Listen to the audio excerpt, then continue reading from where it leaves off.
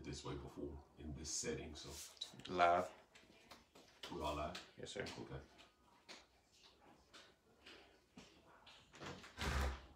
Uh-oh. No, it's okay. Yeah, it's gonna do that.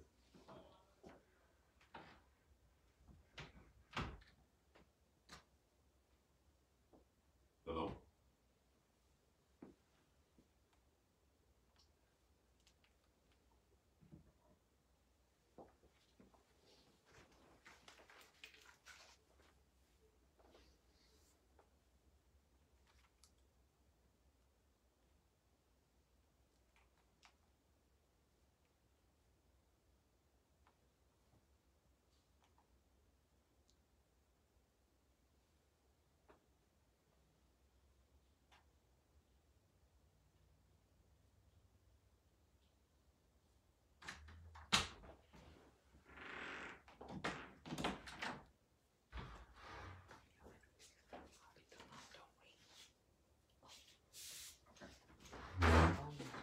Hmm? Oh, the house phone don't ring. I got this one unplugged. Oh, okay.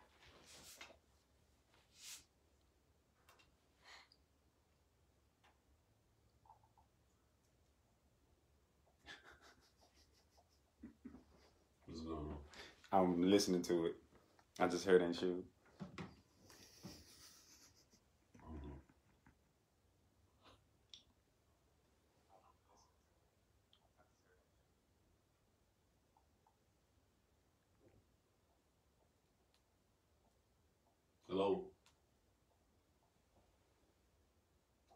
What's up, Mo? How you? Good, man. Good. How's your day been? Okay then. Okay. Just asking, what is what does it sound like so far? It's clear. Okay.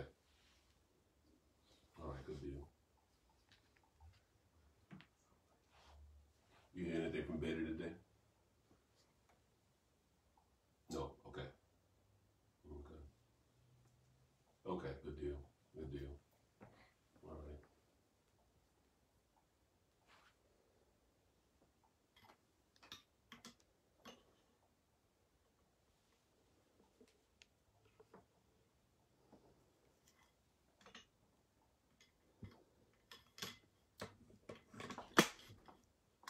Regular day today? Okay. Okay.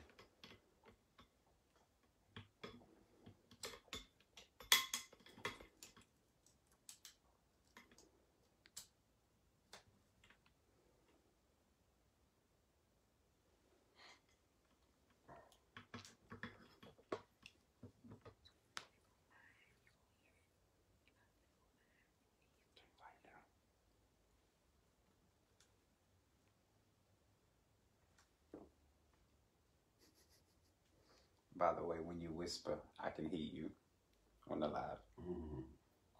Yeah, all of this. This is a quiet room.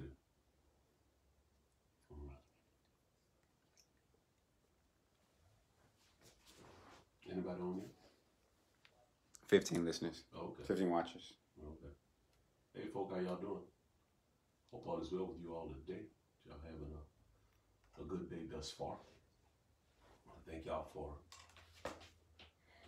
coming in. Definitely appreciate it. Um, we um, are just trying some different venues and the like. So this is a different setting than what you're used to seeing. We are in an undisclosed location somewhere very, very far away. uh, however, we are delighted that, uh, that you did chime in. So, uh, thank you so much for uh, for calling in. Here's one of the things that uh, I'm going to attempt to do, um, and Zach is going to help me with that. Is uh, might I might pause at a certain point to see if you have any questions about what we're talking about, and uh, he's going to be able to uh, articulate those questions, whatever. Um, if you, you know, writing, um, yeah, you writing it down, whatever it may be, he's going to see it and then give it to me, and then we'll uh, we'll go from there. Same thing, Marvin, on the conference call. Um, we're going to uh, mute it, but then at some point, if you all have questions, I'm going to have the phone unmuted where you can pause and we can pause and interact if we need to. And what I'll be doing in the meantime is just kind of translating what is being said from the conference call to the Facebook, and of course from Facebook to uh, to those who are on the other conference line, just ask, asking the question and then giving the answer. So it might take us a little time to get through it, but just want to at least try it uh, to uh, to get it started. So you guys, for me, it's kind of almost like the guinea pig. It'll be the first time I'm doing that. Um, I have to admit, I am uh, I am really being challenged on some of this stuff, but I'm discovering something. The more we do it, the more we get familiar with it, uh, and so I'm uh, I'm looking forward to doing it because uh, from every indication, I don't know if you all paid attention to the, or if you heard anyway, the uh, president's conference uh, today. Um, man, I never, you know, really hadn't seen him that way, and so it's an indication to me that uh, this thing is more serious. I'm going to say than uh, what I think he originally thought, and. Um, but thank God he is taking it serious. Concerned again, I believe, overall for our overall welfare. So uh, this again, let's just keep that in mind uh, going forward. Um, got about another minute, and once that is done, we'll, uh, as I said, Marvin, I'll mute you guys. Uh, but you all will have the ability, if you would, if you press star six at any point when I'm muted, if you press star six, you will uh, you will be able to uh, to come onto the line. So, uh, so right at seven o'clock, uh, as we always try to do to be honorable with the time that God has given us, we will we will get started. And I certainly ask for your prayers, just to again to be able to communicate the glory of God in this uh, in this manner. Definitely appreciate you all uh, uh, being on the Facebook Live and also on the uh, the conference call. Bob, you can still hear me well.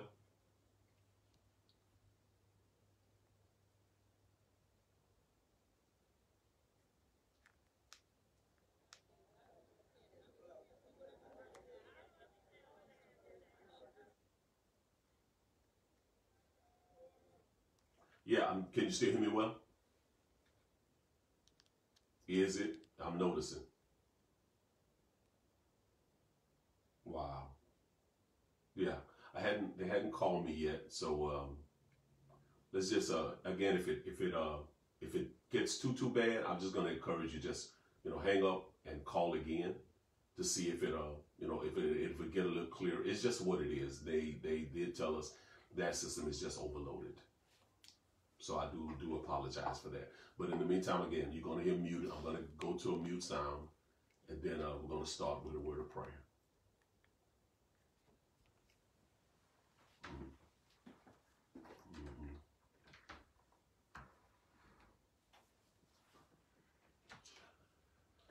You all, uh, if you would, just let's pause for a moment of prayer, and then uh, we're going to go into uh, our, uh, our lesson for tonight. Dear God, we are grateful and thankful to you again for the blessing of life. We thank you, God, for our health, our strength. We thank you again for you allowing us to know you uh, so that we can live in a way that's pleasing to you, God. We uh, pray that as a result of this day, that you have been pleased with our service of worship thus far. And Lord, we uh, clearly know that, uh, as always, we rush to ask that you would forgive us of our sins knowing that there are things that we leave undone, some things we should have left undone, knowing are things we said and things that we should not have said, knowing that there are thoughts that we fail to take captive to the obedience of Christ and we allow those thoughts to become actions. And so, God, we ask that you would forgive us for all of those things. And then, Lord, again, as we're here tonight, we're here for the purpose again of bringing glory to you as uh, you allow us to grow in your word uh, and in the knowledge of our Lord and Savior Jesus Christ. So thank you, God, uh, for just the opportunity that you have granted us and that you're granting us right now uh, to be able to communicate with one another uh, in this form of technology, in this form of, uh, of di- the digital age that we're living in. Uh, still, more than anything else, is to communicate your word, to communicate your truth. So as we're here tonight, Lord, we are mindful of Sister Betty Savannah, who is just really going through a tough time uh, with her breathing and uh, had been diagnosed with pneumonia and the like. And so, God, I pray for Sister Betty. I pray for her healing, God. I pray for restoration. I pray, God, that you would make her well as only as only you can do. Of course, we never demand you to do anything, but Lord, we shall know how to ask, and we would ask it in Christ's name that you would heal her body. We certainly pray for Reverend Cornelius uh, Williams uh, and his for his family, what they're experiencing uh, as a result of the uh, the virus. But God, thank you that he's on the upswing, that he's doing much better. Uh, he's doing well. Family's doing well. We just pray you continue to provide your protection uh, and healing uh, for for that family. Uh, for Lord, those who are on the front line still dealing with various medical issues of persons with coronavirus, those who have been tested positive and the like, we pray for our own members, Eric and Tarankula, Lucretia and Deborah, Fiesta and Carmen, and Rita, God, you know the issues that they're dealing with on a daily basis. And I just pray again your mercy uh, will continue to be upon them, Lord, that you would comfort them, uh, help them to know beyond the shadow of a doubt you love them and you're uh, really concerned about them. So I pray your protection upon each and every one of them uh, as you would lead, guard, and guide. Has been praying again for our law enforcement. We certainly pray for Daniel Tate in uh, Birmingham, Alabama, who is uh, having to deal with people uh, on a daily basis, not knowing again whether they carry the virus or not. But God, what we do know is that you are able to protect, and we thank you uh, for what you continue to do in his life. And then our own brother Keith Harris, who is a fire marshal for Harris County for the city of Texas, for his city of Houston. We pray for Keith, God, that you would protect him uh, as he has to uh, still go around checking whether or not people are meeting and and gathering together. I pray again your continued protection for him, that you will always be leading and guiding him and protecting him and, and walking with him, and help him to know that you are always with him. Again, for every member of our congregation, Lord, for the babies that are yet in their mama's bellies, uh, to Sister Philomena Thomas, God, I pray again your grace and your mercy be upon us, not only upon us, but every believer all over the world.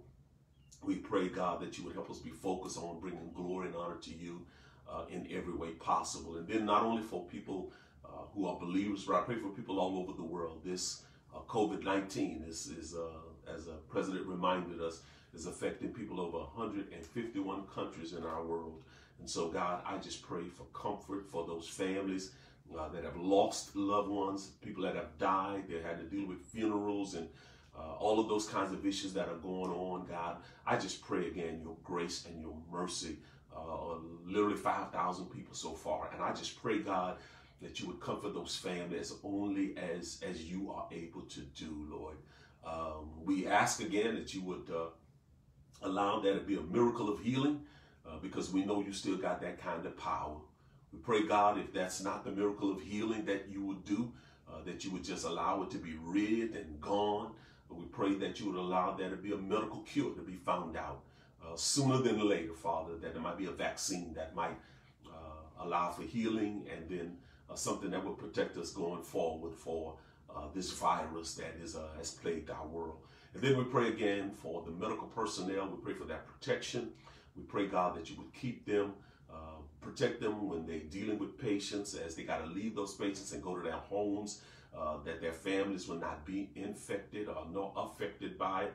So I pray, God, you just continue to keep us. Help us with our minds stayed on you, Lord. Help us to always look to the hills from which cometh our help, knowing that all of our help ultimately comes from you.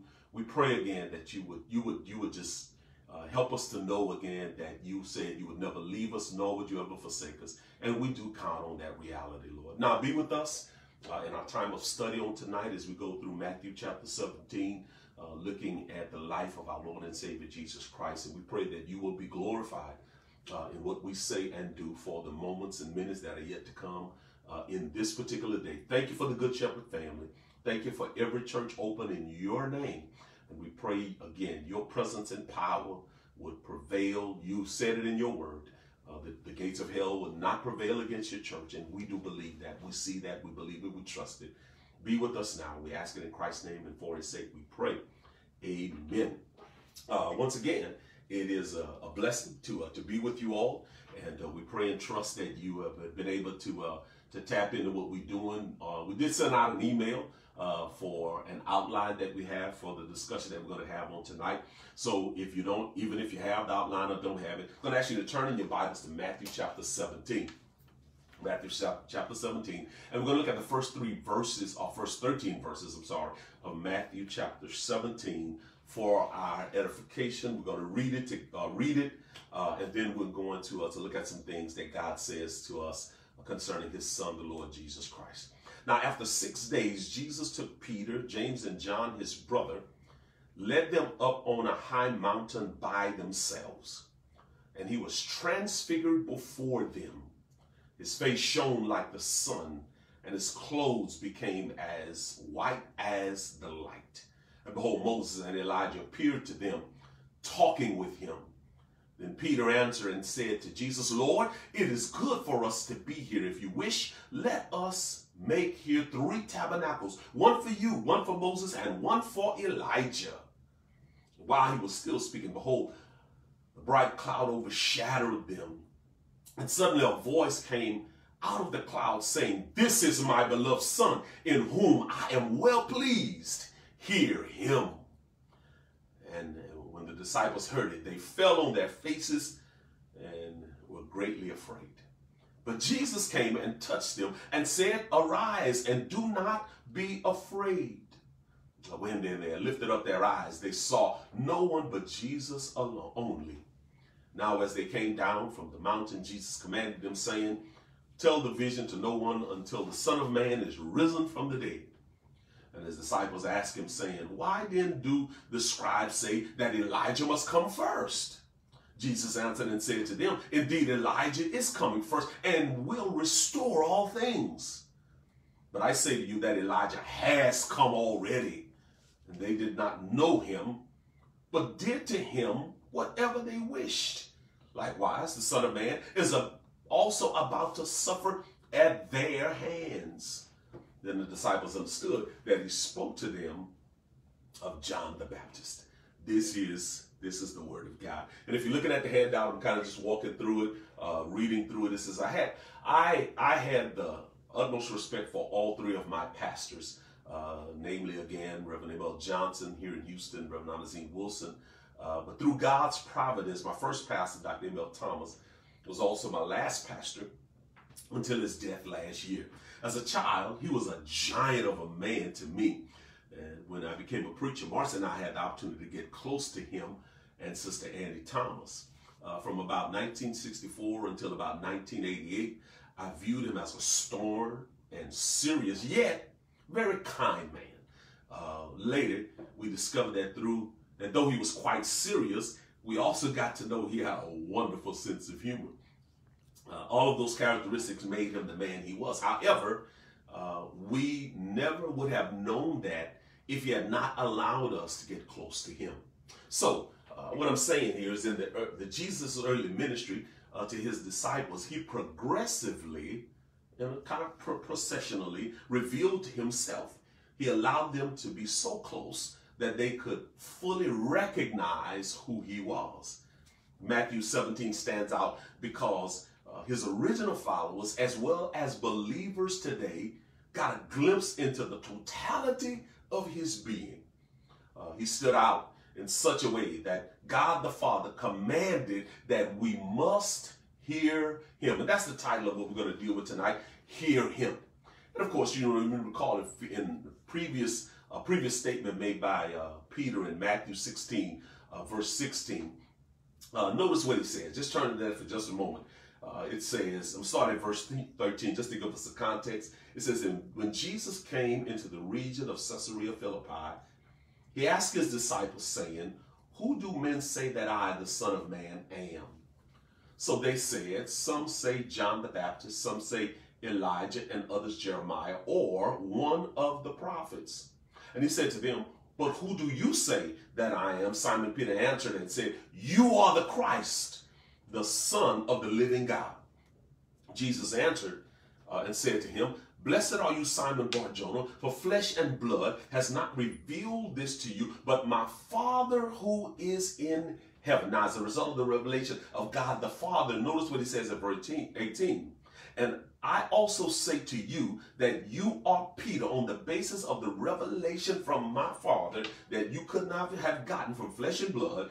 He says, upon this rock, on this huge revelation that has been given from my Father, and your understanding of it, Peter and the other disciples, he says, I will build my church. And here's the promise. And the gates of Hades shall not prevail against it. So what's amazing about that is that we have this confirmation, affirmation of Jesus as the Son of God, again, who is who is from God and who to whom he's going to build his church. But he also helps us to understand that in chapter 17, so what does he do? He he he he gives further substantiation to the truth.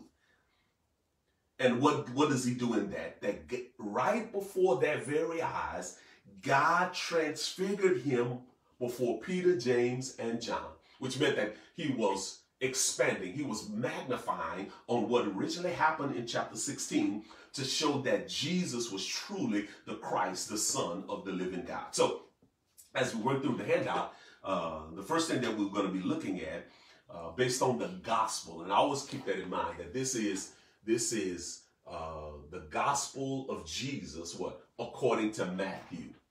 It is not the gospel about Peter, James, and John. It is not the gospel about the woman at the well. It's not the gospel about Nicodemus. It's not the gospel about the three friends that brought the man to Jesus. It is not the gospel of that. It is the gospel of Jesus. And to recognize how Jesus comes close enough uh, to humanity that humanity now is able to literally be changed and transformed. Why? Because Jesus came near to them and they what? They heard him. And so what do we look at? Jesus allowed the glory of God to be revealed in him. That's the first thing we look at. Jesus allowed the glory of God the Father to be revealed in him. How do we know that? Look at chapter 17, verse 1. He says, Now after six days, Jesus took Peter, James, and John, his brother, led them up on a high mountain by themselves. In verse 2, and he was transfigured. Notice, it didn't say that he transfigured himself. No, it says he was transfigured, which means to us is that Jesus himself allowed himself to be transfigured by the Father.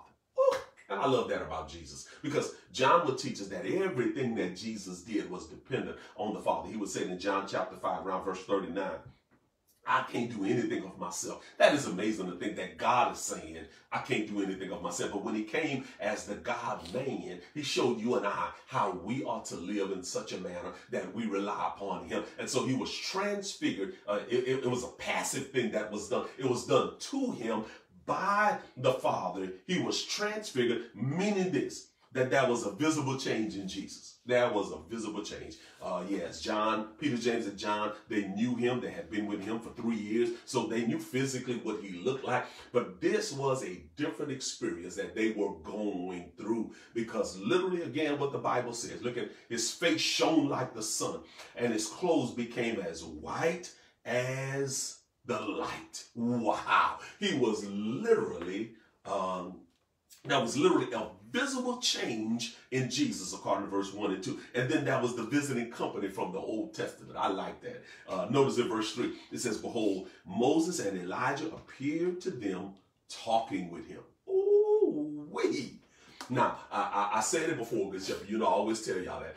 Don't read these passages. Don't read the scripture like, you know, this is something you see every day. No, no, no, no, no, no, no. You don't see nobody walking around and all of a sudden their countenance changes and they, you know, get light, their face started changing and their clothes started glowing. We don't see that every day. So I always encourage us to be in awe to be in amazement what we read about Jesus because that's what's going to keep us in, in, amazement of what we know about Jesus. And we never come to a point that we take him for granted. We don't come to a point like oh you know that ain't nothing. No no no. This was absolutely amazing. So what happens? Elijah and Moses show up. Well Moses again uh, according to uh, Deuteronomy 18, around verse 15, uh, up to verse 18, it talks about he was the prophet. Uh, Moses said that he was a great prophet, but that was a prophet that would come.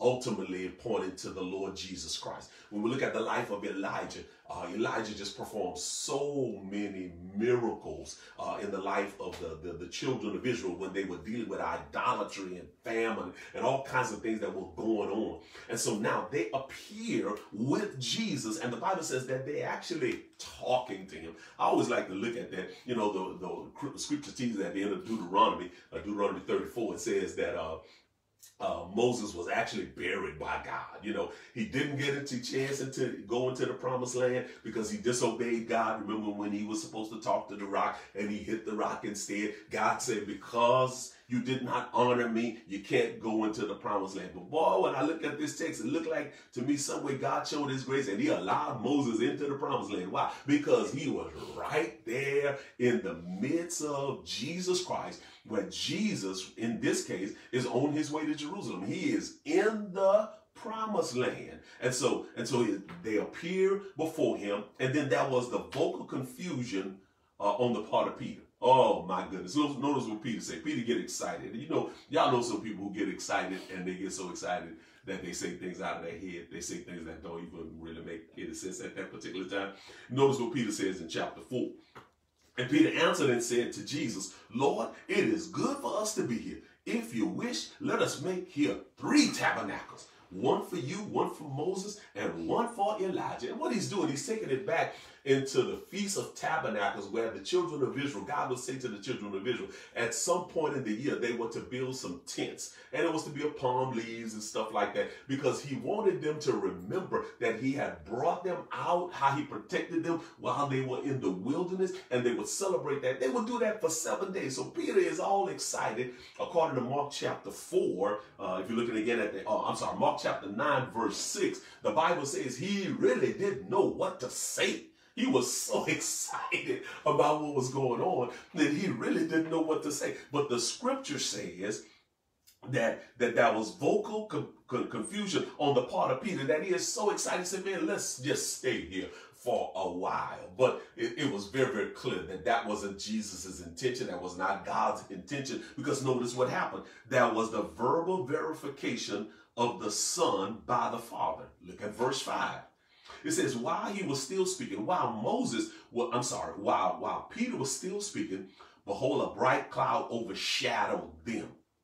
Peter, James, John, Jesus, Moses, Elijah, and suddenly a voice out of the cloud saying, This is my beloved Son, in whom I am well pleased. Notice what he says, Hear him.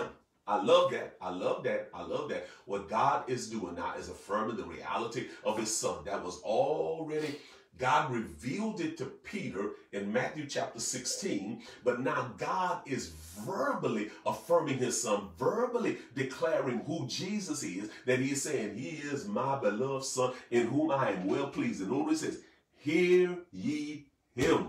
I love that, y'all, because what he's what he's pointing out that there is no one, no one, and that, that kind of leads to the last thing. That was the veneration, if you would, uh, of the Son and the Father by the disciples. Because notice what happens in verse 6. And when the disciples heard it, they fell on their faces and were greatly afraid. That was a, literally an act of worship they are prostrated. They are falling down. Why? Because they have heard the voice of God. They have seen this, this transfiguration of Jesus. And then they have literally seen the presence of Moses and of Elijah.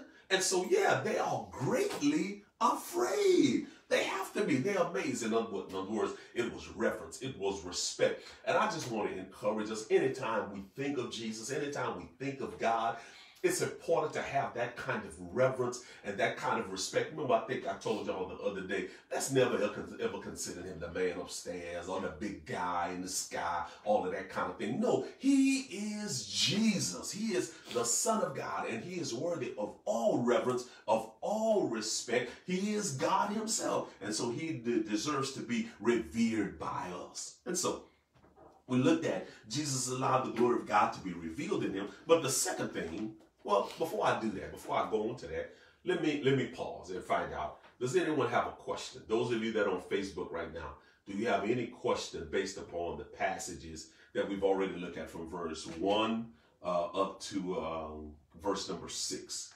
Does anyone have any kind of question? For those of you on Facebook, I'm to see first.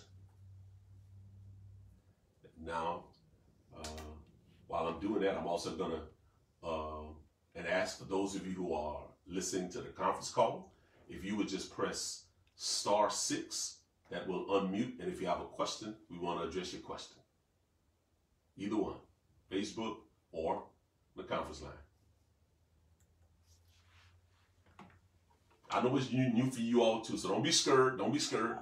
I'm sorry. Don't be afraid. Uh, anyone? All right. Well, if there is no one right now, I'm going to keep going forward. But uh, if you decide you want to uh, make a comment, again, ask a question, please feel free to do so. Allow a few more seconds if anybody will choose to. Online, uh, on Facebook, on the conference call. All right, well, let's look at the second point. Uh, we said number one, Jesus allowed the glory of God to be revealed in him, and that's in verse 1 through 6. Here's the second thing Jesus addressed his disciples in light of what was revealed of him. Uh, look at verse 7. It says, But Jesus came and touched them and said, Arise and do not be afraid. So, what did we, what do we see here? He came so close, he came close enough to comfort them. Doesn't that sound like our Lord? Doesn't that sound like Jesus? He came close enough to them to comfort them. He didn't scream at them. He didn't holler, hey, y'all get up. Uh, you know, y'all some. No, no, no. He came close enough. He touched them. He showed compassion toward them. And he says to them, do not be afraid. And listen, I, I want to say that same kind of pause and slow down right now. Listen, there's a lot going on in our world that's so disturbing.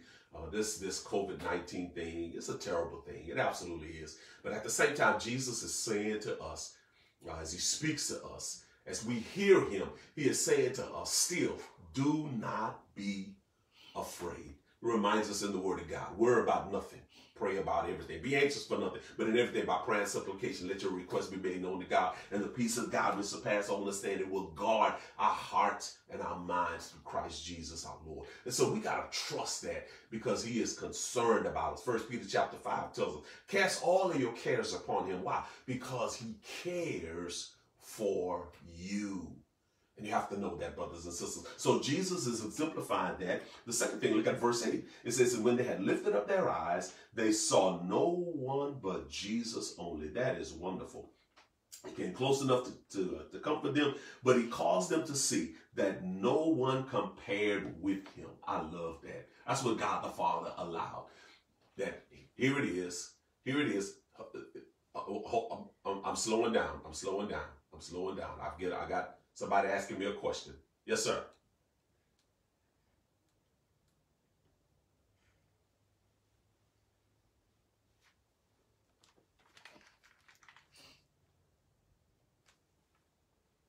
To Peter Jensen? Where were the other disciples? Yes. No, no, no. That that he's still referring uh, Brother Elwood is asking a question when it says that he went up on the mountain he took Peter, James, and John, and then he makes a reference to the disciples. Uh, he's asking, does that represent all of the disciples? No, he's really still referring, Brother Elwood, to Peter, James, and John. So all the scripture, all, all Matthew is doing is identifying that it was still those three that were up on the mountain with him. Good question. Thank you. Thank you for calling. Thank you for calling. All right. So now, when he does that, notice what happened. He caused them to see that there was no one compared with him. I love that. I love that. Because notice what happens. They're up on the mountain. His is glowing. His clothes is glowing. Moses show up. Elijah show up. God the Father is speaking. But then when the smoke clears, when the voice is gone, the only one that's standing is Jesus. Wow, that's important. That's significant. Why? Because of what the Father had just said. This is my beloved Son in whom I am well pleased. Hear him. God had never said that about any of the any of the prophets. He's saying, hear him because what it is showing the fulfillment of everything else that every other prophet ever talked about was really characteristic of Jesus Christ. That's why Hebrews chapter 13 would say Jesus Christ what is the same yesterday, today, and forever. Even when Mo, when Noah was preaching to the people that uh, that God is gonna gonna hold back uh, 120 years, and at, at the end of 120 years, there won't be no more flesh on the earth except for eight people that survived even Noah preached in the spirit of Jesus Christ. Because who is Jesus Christ? John would say to us, he is the Word of God. In the beginning was the Word, and the Word was with God, and the Word was God. So everything that the prophet spoke ultimately was it was typically or a typology of really Jesus as the living Word. And so he says, "Hear him. And when the smoke cleared, the only one that was standing was Jesus. And then notice the other thing that he does. He commanded them to keep the revelation. That's what Jesus did. He commanded them to keep the revelation until after the resurrection. I love what he does in verse 9. And it says, and now as they came down from the mountain, and we talk about as they came down, he's talking about Jesus, Peter, James, and John, the ones who originally went up on the mountain with him. In verse 1, as they come down, he says, Tell the vision to no one, watch this, until the Son of Man will restore, uh, uh I, am sorry, until the Son of Man is risen from the dead. I love that. I just, I just love that because here it is, they're having this exciting experience with Jesus Christ but he's already at this point forecasting resurrection. He is already forecasting the fact he's gonna die, or he's gonna suffer, he's gonna die, but he's gonna be risen from the dead. And he would say to his disciples, This thing that you just saw, Peter, James, and John, you're not to share this with the other nine. And of course, don't even share with the other eight when it got down to, you know, when Judas had betrayed him, all of that kind of thing that's going on. But he says, don't tell anybody. And here's what I love about that, because there actually came a time as John is writing in First John, he says, he says, he talked about Jesus. He says, we heard him, we saw him, we handled him, even the very word of life. And so it was, it was, it was showing that they actually kept God's command. Peter talked about it in Second Peter chapter chapter two. Uh, on the end of chapter one, I'm sorry. He talked about the fact we saw him in his glory. We saw him on the mountain, this word of truth that was expressed in the Lord Jesus Christ. And so he's already forecasting his resurrection. And isn't that like Jesus that he gives these hints along the way that yes, I came to die, but I also came to be risen from the dead. All right, so we, we're at the end, if you would, of that of that second point, um, uh, verse nine. Uh, and so I want to pause again. If anybody have any questions from verse one to verse nine so far in terms of what we've talked about. Any questions or comments? For those of you that are listening by the conference line, all you got to do is just press star uh, six, and that will open up your line. And if you want to mute it again, you just press star six again. So anybody, first of all, on the conference line, want to ask a question or make a comment, and whatever you say, I'll make sure that everybody else uh, uh, understands it. All right. Anybody on Facebook maybe have a question, a comment that you want to make. We'll make sure we articulate that so that everybody else can hear it. I wonder how many of I wonder how many of us what she said? Would not have shared it anyway. Oh my goodness, how many of us would not have shared it? well, it, the bottom line, it's the same thing. It's it's uh, understanding that it was a command that was given by Jesus. He had a reason for it. And so those who would be his followers uh, at that point, he didn't want it to be shared. But then what we do, we know understand. We live in a time that, hey, he's not telling us not to say anything now. And unfortunately, he's telling us to say it, and sometimes we don't say it. In this case, it was necessary, uh, just in terms of where he was, what he was about to do, that no one would know what took place because he just wanted it to be that way, because he chose to reveal it to Peter, James, and John. And here's what's amazing about that. When you read about those brothers in the book of Acts, these were the ones who were the initiators, if you would, of the church. Isn't that amazing? That, that it shows us that even though Jesus had 12, there were three of them that were extremely close to him. And those were the ones that he actually used to establish the church when we read, especially in the, uh, the book of Acts. Any other question? Any other comment? Anybody on uh, online on the conference call? All right, thank y'all so much. Y'all, y'all see I'm smiling. I'm starting to get this. I'm actually enjoying this. Praise the Lord. All right, all right. Let's look at the last thing. First of all, we said Jesus allowed the glory of God to be revealed in him. Then Jesus addressed his disciples in light of what was revealed of him. And then here's the final thing Jesus affirmed with great proof that he was re- what was revealed about him. So here's what we look at. Uh, and that starts in verse 10.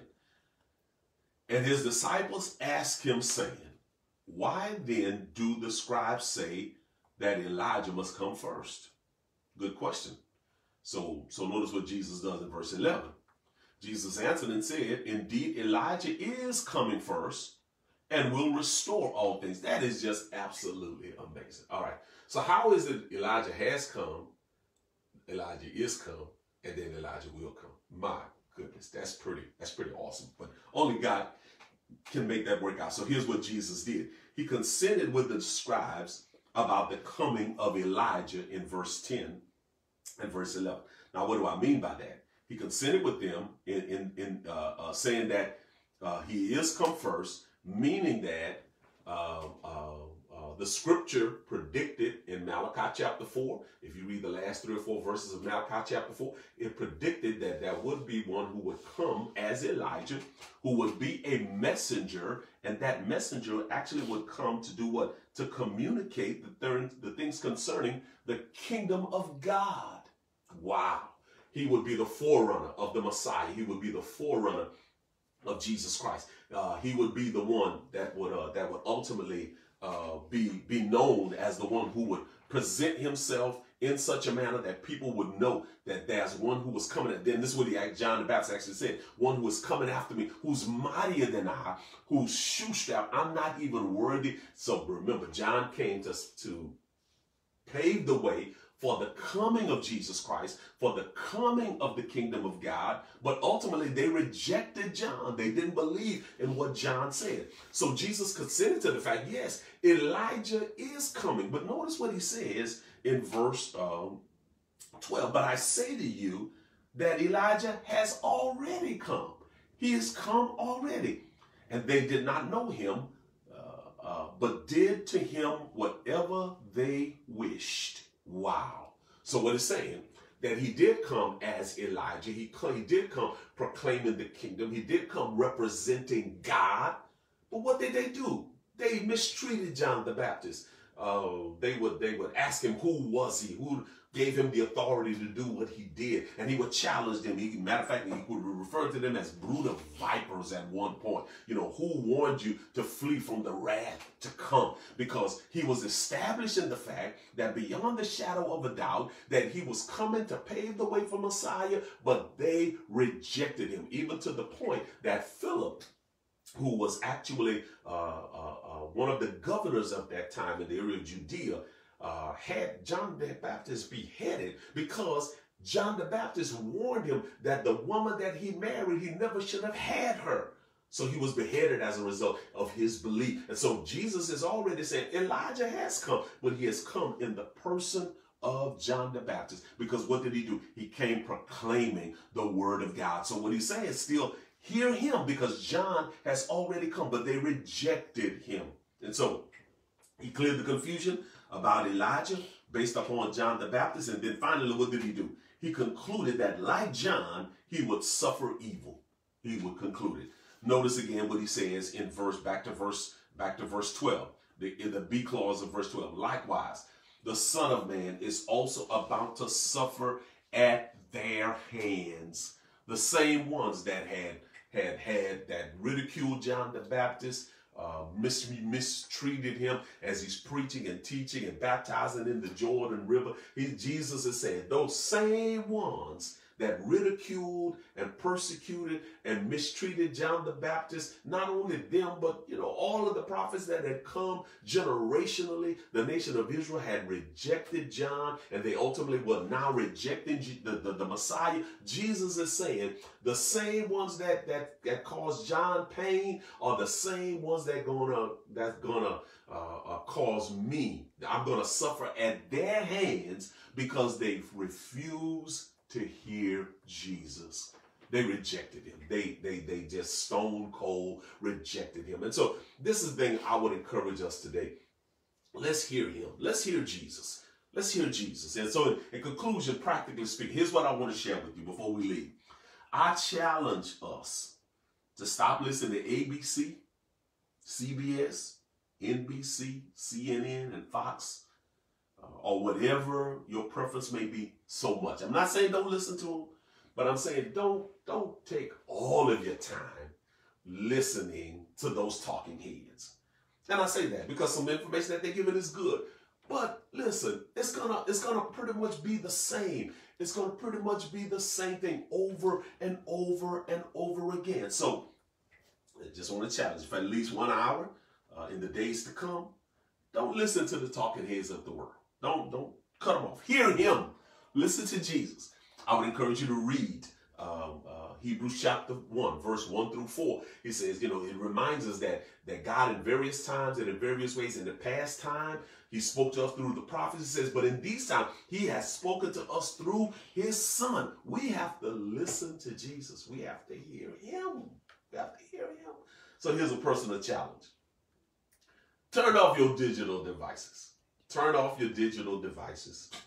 Uh, pick up your paper copy of the Bible, and I know I know some of y'all paper copies are dusty right now. Oh my goodness, it's been so long since you've used them. You've been using the digital, and I'm not against using the digital, but what I'm saying is I would encourage you to put down the digital, turn off the television, and just grab your scriptures, grab the Bible, the paper, turn in it, read that for yourself, and listen to what God has to say to you and recognize that everything he says ultimately is the word of God and the, re, the, the, revelation of the word of God, the fulfillment of the word of God is in the person of his son, Jesus Christ. Listen, we're going to be listening, hearing things for a long, long time about COVID-19, the coronavirus, looking for a vaccine, looking for a cure. We're going to hear about uh, unemployment. We're going to hear about all of these things. But more than anything else, folks, I want to, us to saturate ourselves with hearing him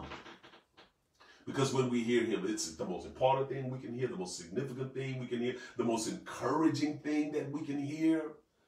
Because, because God has given us Jesus as a source of comfort for us. I want to encourage you uh, as we go forward. Hear him. Uh, take time to listen to others. Know what's going on the best you can. But make sure that what you hear from others, make sure you always filter it through what Jesus has said because God wants us to hear him. Father, how we love you and thank you just for this opportunity again to share your word. And I pray, Lord, that as we move forward, it would be our desire to hear Jesus, um, to speak to our hearts, so that we can be comforted, so that we can be wise, so that we can be bold and courageous in the face of the adversities that we're looking at, living according to the promise that he will never leave us, nor would he ever forsake us. So here's what I want to ask you. Anybody has any question, any comment, here's your opportunity. Again, if you're on the, uh, the conference line, star six, any question or comment you have, please address it. Anyone at all? Anyone on Facebook? If you have any question or comment? I hope in some way you've been encouraged tonight. Hopefully, maybe again, you listen this morning. This is going to be on YouTube. Uh, you can hear it again for your own edification. It's going to be there anytime that you want to want to do it. Uh, we are still trying to make some plans in terms of what we're going to do moving in the future. Right now, we're going to still use the conference line, those kinds of things to help us. Listen, until we meet again, I love you, and Lord willing, you'll see me Sunday morning. God bless you until we meet again. I love you. 爸爸真来。